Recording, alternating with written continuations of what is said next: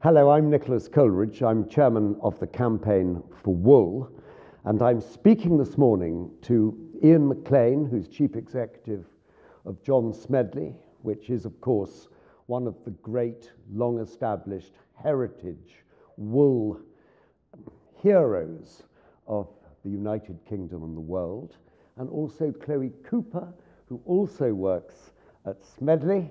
And we are going to be talking this morning about wool, sustainability, a particularly marvelous jersey, which has just been made by John Smedley um, using wool from flocks on the Prince of, uh, on the Prince of Wales's estate. The estate, actually, we should say, um, the campaign, we should say, is now, of course, uh, our patron is King Charles III, but the duchy has moved to the new Prince of Wales, aka Prince William.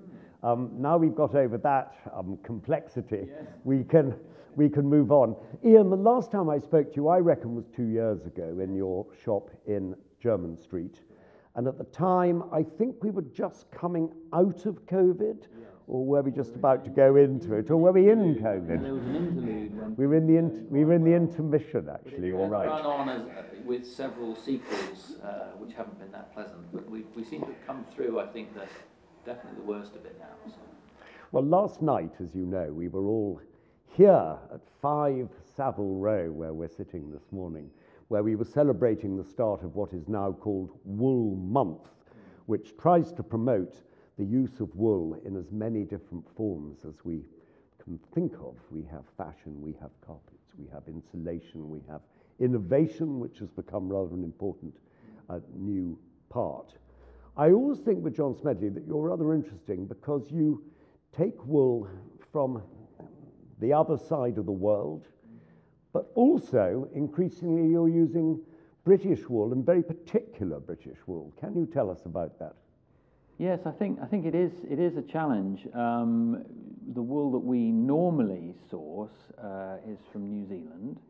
We've been doing that for for over 25 years from specific farms, mm-hmm. and that allows the New Zealand farmers, you know, on those kind of long-term relationship, long-term contracts, to invest in their flocks and breed the dynamics of the fibre that we need for a very fine garment. Mm. Um, but this this year and this project in the last year, um, which came about as a result of um, being awarded the Prince of Wales's Royal Warrant uh, before he came king. So many congratulations ago. on that. Thank they don't hand them out that easily. So good. I, I, in, in sort of celebration of that um, great event, I thought uh, that I would very much like to be able to create um, a wool jumper or product using wool from the Duchy estates, from sheep on the Duchy estates. And I wasn't sure actually at the time that that had ever, ever been done before, or actually how challenging a project it might be. But I thought, you know, to celebrate that uh, to getting the royal warrant, it was probably the right thing to do. Tell us how you started. Did you go to the duchy and say that you would like introductions to different farms on Exmoor and Tiverton, etc.? We did. We didn't really know who to approach initially. Yeah. And, uh, well, Chloe, do you want to say? Because eventually we started talking to a spinner who was located in Cornwall. Yes, so we had an existing relationship um, with this spinner from a previous project. And um, I think the team back at the mill, Jess and Pip, the head designer, having that relationship built up, got in touch with the Natural Fibre Company who are down in Cornwall and spoke to them about the project. And they were able to use their contacts, like in the local area, to really reach out to the farmers that could be involved and see what fleeces could even be available to us. Because at that point, we just weren't even sure of the um, type of wool that we could even get from the various farms on the estate. So we were really lucky to work with the Natural Fibre Company and their experience there in sourcing the fibres. Was it difficult to get the fibres in the end? Because this, I'm reaching over as we speak and feeling this incredibly, it's, it's softer than you'd think, isn't it? It's, uh, it's considerably softer yeah. than you would think. And yet it has this very, very attractive ribbed design. Mm. It's kind of a classic, but it's, yeah. it's frightfully cool. If you wore that with a pair of jeans, I think it would look very, very cool. I think what we found was that, that talking to the natural fibre company, who are the spinners, uh, and had some of the relationships with the farms, Mm. was that we, we, we, we and they were kind of cutting across a process that would have made it very difficult to us ac- to acquire the fibre, because um, all farmers just um, sell their, their output of um, wool fibre into the marketplace, and it kind of disappears into an enormous sort of spinning morass, and they never see it again. They never see the end product. They never have a relationship with, I don't know, the manufacturer or the designer. Yes. It's just however many pence per fleece that they can get, and the wool disappears. So we were cutting right across that Yeah. to talk to very specific farms who had specific sheep breeds on them, and, and creating almost an entirely new conversation that, that I don't think they'd ever had before, had they? Who visited them first? Did you? So I haven't visited the farms this time. Um, I think that it was really the kind of working with the natural fibre company Yep. as almost kind of a middleman and engaging us in that conversation. And then hopefully as the project kind of develops and continues over the years, we'll just continue to build those relationships with the farms themselves and kind of see hopefully the impact of smaller projects like this and what that can have for the British wool industry. Do you know the names of the farmers from whom this came somewhere in the Some of system? them, some of them there, They yeah. probably do at your intermediary, Yes, don't yeah. they? No, we they would know um, them all. And what think- is it easy to buy, uh, as you did, um, as it were, at one remove from the farmers? Because there's always been a thing where a lot of the wool goes up to Bradford, Yes. where the British Wool Yes. Board auctions it, Yes. and then, in, but you've, in a way, through your spinner, Yes. found a way to be able to use this very high quality soft wool Yes. and then to make it, move it And we to met, own. we met the th- three, farm, three farms, three farmers. And I think Yeah. what's interesting, of course, about wool is every year you get a new crop. So Yes. we've gone through a, a massive learning process just to produce this one for the first time round. And we acquired enough uh, fibre to, to produce 150 jumpers, but from three different uh, sheep and three different farms. Um, I think, Chloe, you're, you're thinking that as the next crop comes through, we may be able to just go to one farm. I think I don't. I'm not 100% sure if it's one farm, but I think um, it's this year's crop, which will become next year's jumper. And we found actually that obviously the farms that we're working with, they've changed their flocks in that time, and maybe there's been something that's affected the yield. So we are looking at actually possibly only using one type of fibre, where this time we've got a blend of three. You And used so three breeds yes. this time, didn't you? I Yes, saw. so Can you? Are you clever enough to remember what the three are? so we have um, it's a 60% Dorset and 40% Cheviot split Mhm. in the yarn, and the Dorset is made up of Dorset down and Poll Dorset fleece. Yeah. Um, where next year that will probably change a bit. We're able to kind of react to the yield that is from that year, and so we can be quite flexible and really each year develop the best product for that year's fleece. Mm. Um, so that's been really, really interesting to see kind of how things can change over the years and how we can kind of work with the spinners and the farmers to ensure we're always developing kind of the best product for that year. I think it's incredibly appealing to consumers, don't you, to know, have some idea of where the wool Yes. came from. In the same way that the, I don't think there are quite so many now, but there used to be various steak restaurants I used to go to that used to always put in bracket the name of the farm Yes. or the name of the estate Yes. it came from. I think they've now stopped doing that Yeah. because people don't like to be reminded that steak comes from animals.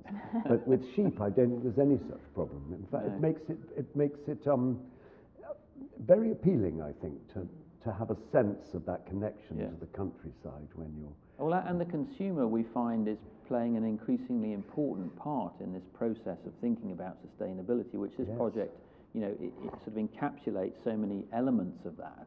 But the consumer uh, does want to know where their garments are made, made, doesn't want to know how they're made and what they're made of, and that, that, is, that is the end point of the supply chain. But all the way through, back from the consumer to the manufa- well, the designer and the manufacturer like ourselves, through to the spinner who are behind us, right back to the farm now, everybody is beginning to think in the same in the same way that hmm. we have to react to this changing attitude towards garments. I mean, we're in the garment industry. Hmm. Obviously, there are hmm. many other industries that need to do the same. But in the garment industry, it's all about understanding the raw materials and their impact on the environment, and can we reduce that?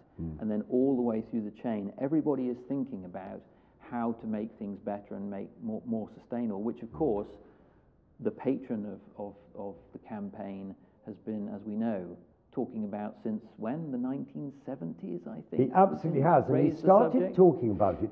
Yes, there were some very, very early speeches of him um, speaking about um, the environmental imperative of, of farming and all. Way ahead of related- his time, Way ahead yeah. of his time. Yeah. But he started talking about sheep.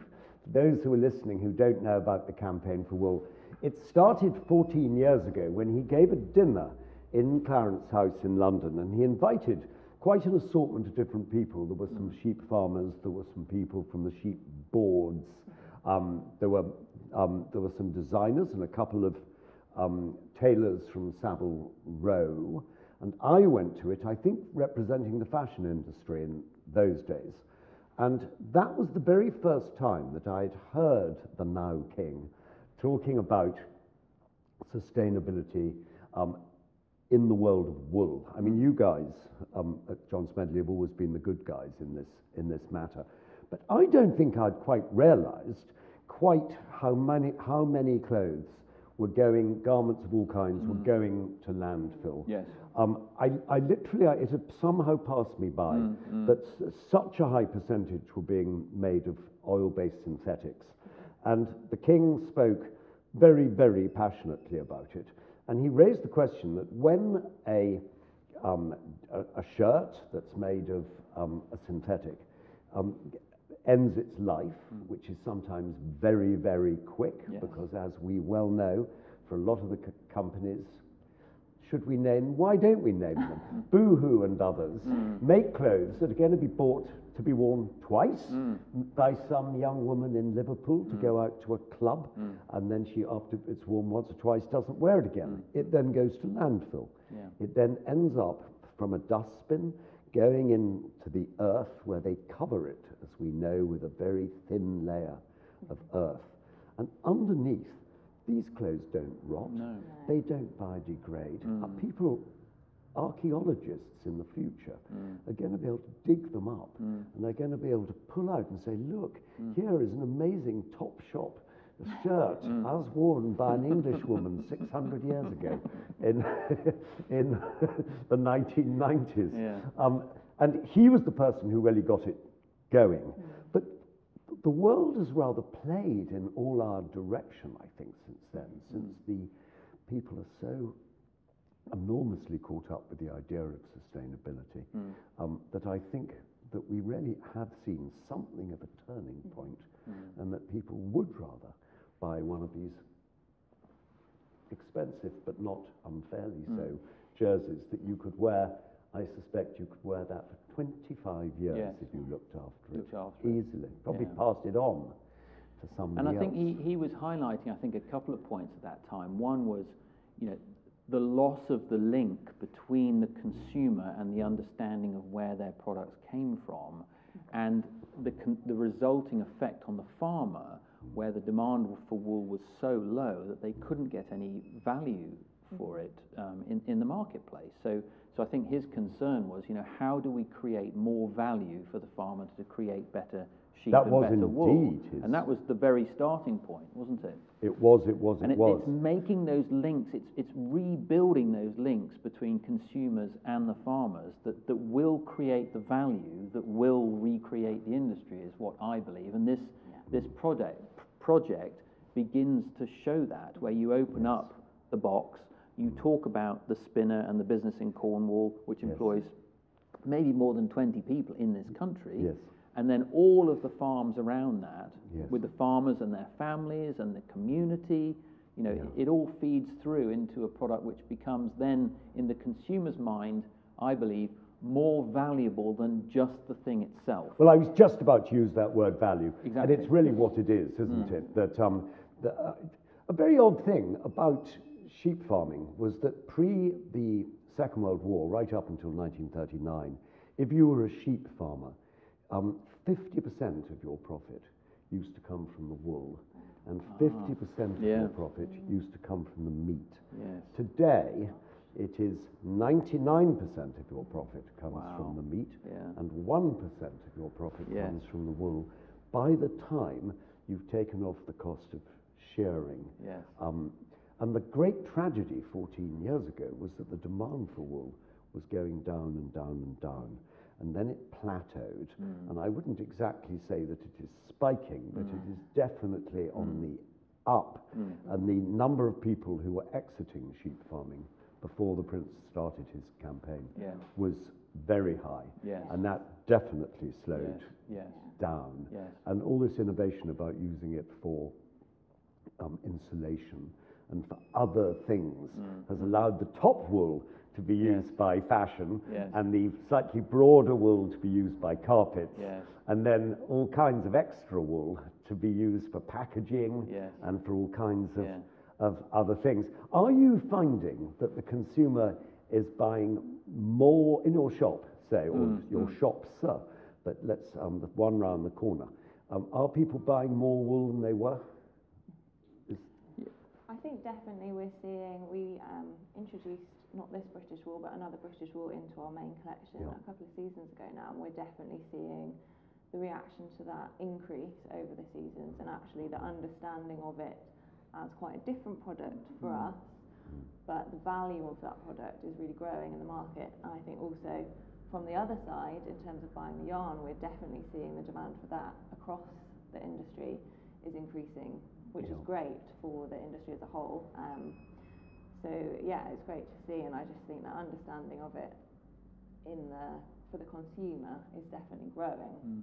For our business, it is quite a different. And you're, you're right. I mean, th those numbers you put on the 90-10, the 90% coming from the from the meat and the 10% from the wool is, you know, that there's some figures which we can work on as an industry. And I think I think it's a very interesting point you make about the, the meat because I, I do believe that the that the food industry, the restaurant industry, the media, you know, the British food, the growers, the locality, the branding has, has so radically changed in the last, last 40 years. That industry has done a brilliant job of linking the consumer back to the land.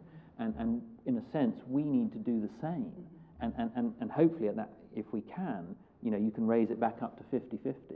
I should clarify one thing. In Australia, of course, it's different. Yes. Where merino um, wool carries a greater price and value. Yes. Um, because it's more versatile in certain Yes. situations. Yes. And, um, and, and the meat is in a country where the population is so very much smaller Yes. than, than the uh, number of, of, of sheep. And I think the same in New, New Zealand. Well, We saw specifically from New Zealand and have done for a long time. And mm-hmm. of course, I, I believe they came, as an, as an agricultural industry, they came off subsidies 30 years ago. Mm. So, mm. so you, you're into a free flowing marketplace. Really, I feel that spurred great innovation in, in New Zealand. Mm. Um, ups and downs, swings and ups and downs, but it does mean that if that they have a very great incentive to, to make sure that merino goes for them to keep the farms going and and it's a, it's a two-way street. We can work with them and they can work with us to make it a success and I, I think we have done over the last few years. I think people forget how many people are working in the sheep industry around the world. It is in its millions. Yes. Millions. Yes. I mean, in this country, of course, in medieval England, when sheep um, farming was um, and wool was the number one industry. Yes. Um, it, we all remember that time as Yes. being every parish church in the country was Yes. built with, with wool money. But if you add up the number of people around the world who are working in wool related businesses, Hmm. in Japan, that huge market for, for wool, in America, Yes. um, where they're taking so much. This is a, a, a, a world that isn't small. People think of it as niche. It's not niche at all. It's, um, it's a global uh, industry. The Indians, as we know, absolutely adore wool and, and Yes. great wool consumers. And China has its love on off love affair with what they do with, with, with, with wool. And I think that, that global story, you know, we have to keep telling it because I don't. We know in the UK that the environment and the weather and the land is capable of growing a particular type of sheep and a particular type of wool, which is okay for certain products, but not all. And I think that again, the patron, patron King Charles mm. is he knows it's a global industry, and you, I think you mentioned to us last night, Nicholas, that the number of events that he's done over the years of the campaign Yes. are not just in the UK, are they? They've been Very much not. Um, he's been a great backer of anything that's to do with the Commonwealth and indeed beyond. Hmm. He's been to, he went to, um, we had to organise for him to go to a sheep farm in Uruguay. So, I mean, there's no end Yeah. to his interest in it. In this country, I think in the 14 years of the campaign, um, the King has been to certainly 30 plus farms, businesses, manufacturers, factories. Um, uh, he's been in the British Wool Board in Bradford. We've been in Wales. We've been in Cambridge. We've been all over the over the place. But when he goes to Australia, um, he knows that the Australian wool farmers, sheep farmers, very, very much appreciate the his passion for Yeah, it.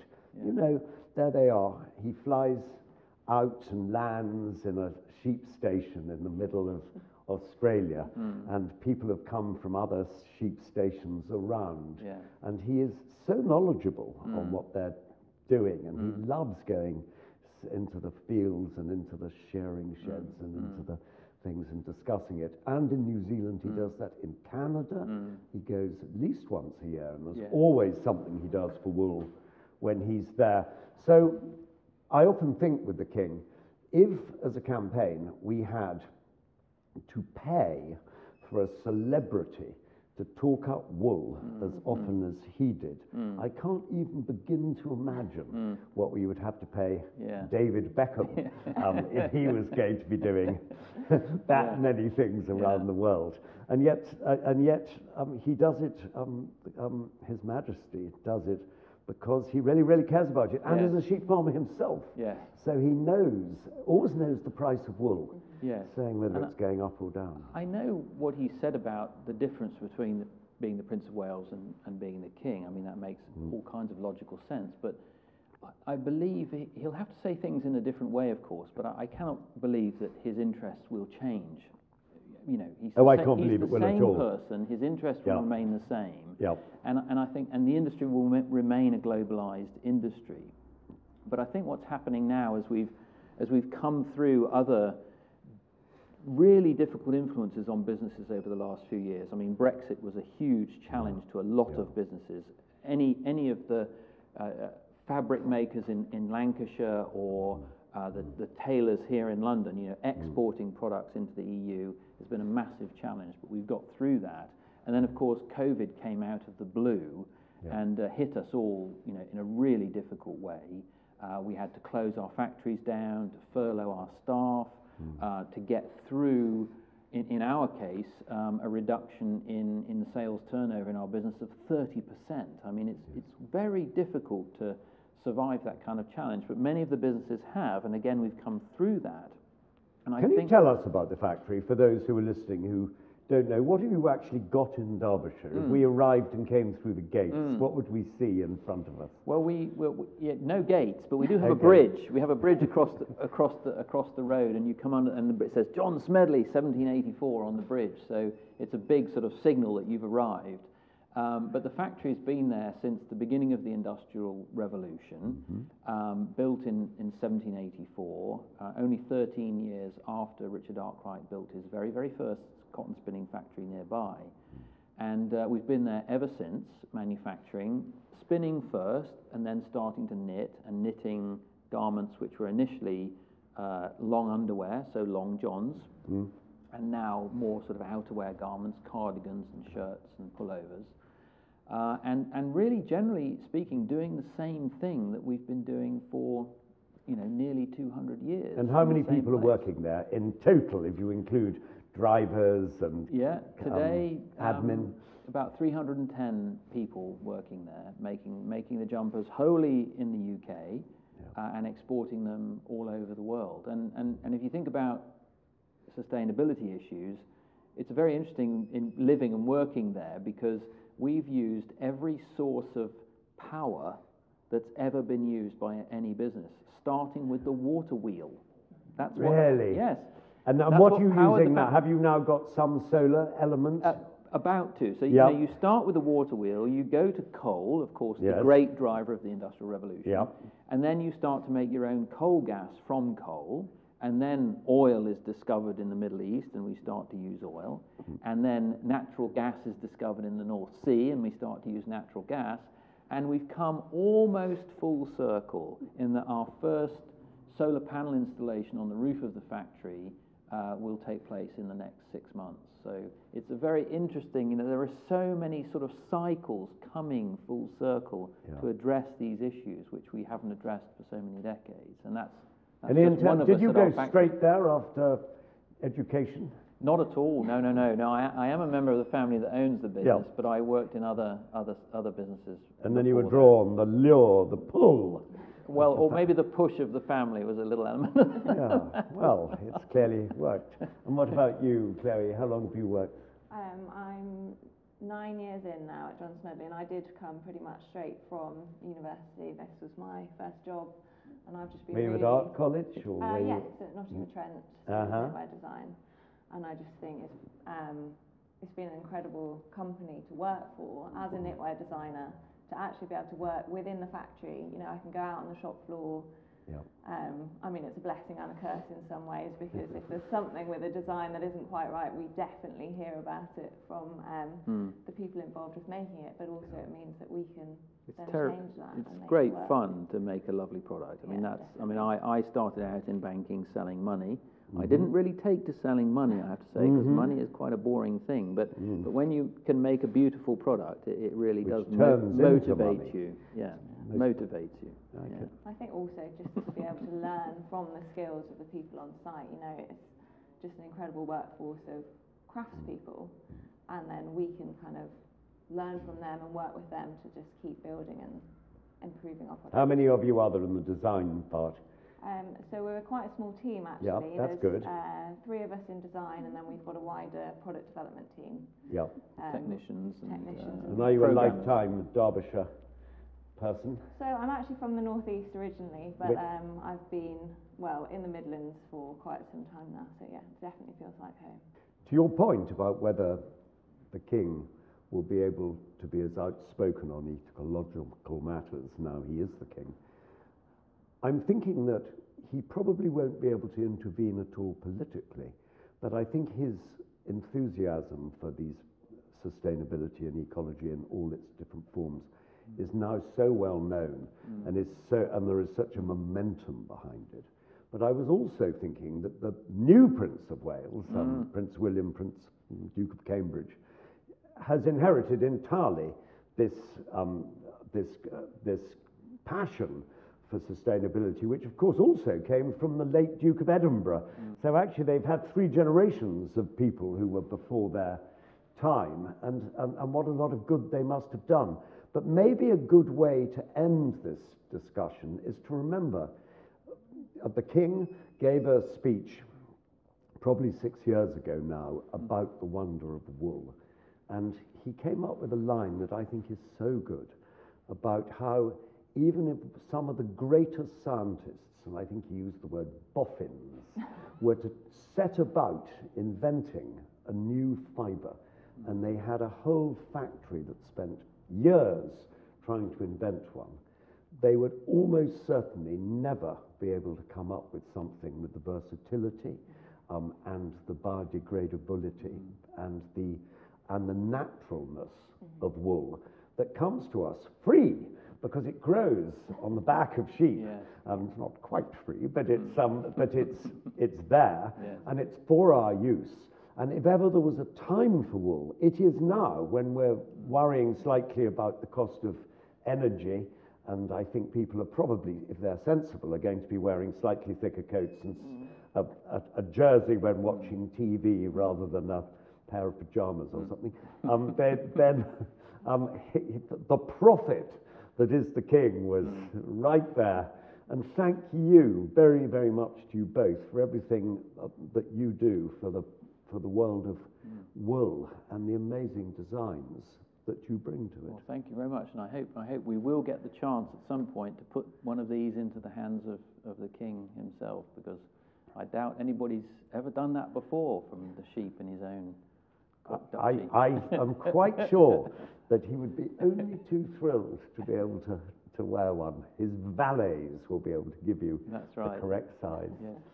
Thank you very much, Nicholas. Thank, you. It was a very fun Thanks, conversation. Thanks.